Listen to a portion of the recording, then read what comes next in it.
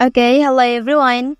Here I want to provide a tutorial on how to remove ads on Realme C67 device. Okay, to remove ads on your device, you can follow these steps. First thing first, open Play Settings menu on your device. Okay, and then please scroll down and find the security and privacy and then tap on it. Okay, and then please scroll down again after that, you can select privacy option here. Okay, and then look for the ads or advertisement option, and then you can tap on it.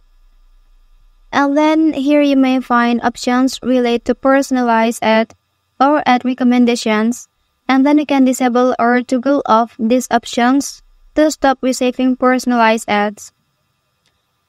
Okay, done. Additionally, you can also go back to the settings menu.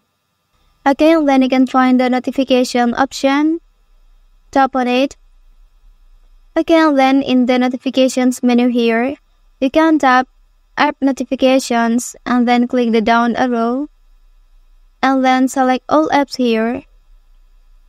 Again, then look for any apps that you suspect may be displaying ads and then you can tap on the app name and then you can disable or toggle off this option to stop ads from the specific app.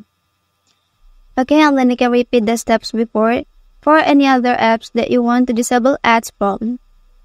Okay, and then by following these steps, you should be able to remove or disable ads on Realme C67 device. Well, that's the tutorial on how to remove ads on Realme C67 device. If you are helped by this video, don't forget to like and subscribe to get other information from this channel. Thank you.